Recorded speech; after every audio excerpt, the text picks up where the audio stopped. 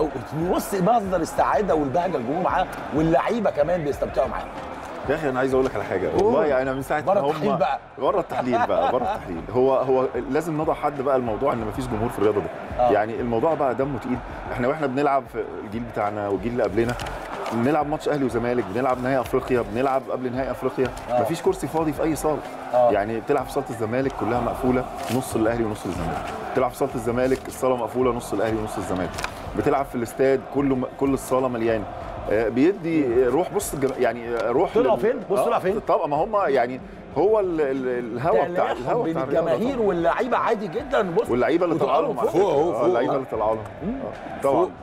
دي حقيقة يعني. اتفضل يا يعني أنا بجد والله لازم نشوف حل الموضوع آه، ال- عايز الجماهير تحل إزاي؟ لازم لازم, نحل إن إحنا بن- بنح- بنحط قانون ونسمح للجمهور يخش واللي بيخالف يتعاقب يعني. أياً كان. ايا كان. بالظبط. إنما لازم الجماهير يخش.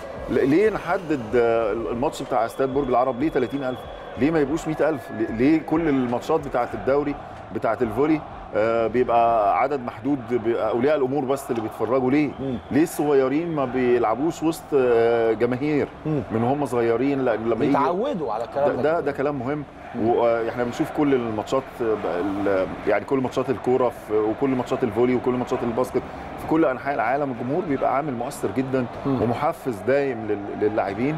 نتمنى من كل قلبنا إن الأمر ده يتحل آه، لأن هو ال- الفاكهة بتاعت ال- الرياضة الحقيقة هو الجمهور.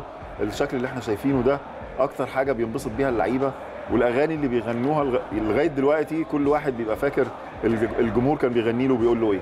فنتمنى يعني إن شاء الله إن ال- الأمر ده يتحل.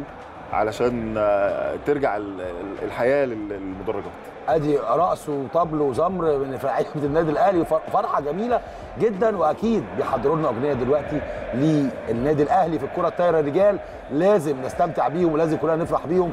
فعلا شرفونا وحاجة جميلة جدا.